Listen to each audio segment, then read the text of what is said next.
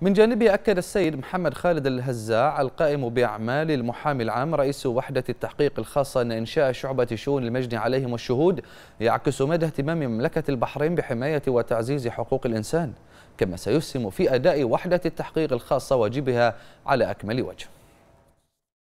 في الحقيقة إنشاء تلك الشعبة يعكس مدى حرص واهتمام سعادة النائب العام الدكتور علي بن فضل البوعينين بالوحدة. ودعمه المستمر لها لتقوم بمهامها باستقلالية تامة وفقا للمبادئ والمعايير الدولية ذات الصلة بعملها. ويترجم في الوقت ذاته التعديلات التي أدخلها المشرع على قانون الإجراءات الجنائية والخاصة بحماية المجني عليهم الشهود من المخاطر التي قد تحدق بهم. ويؤكد إنشاء الشعبة كذلك اهتمام مملكة البحرين بحماية وتعزيز حقوق الإنسان خصوصا في منظومة العدالة الجنائية لما للشهود من أهمية بالغة في جميع مراحل الدعوة الجنائية.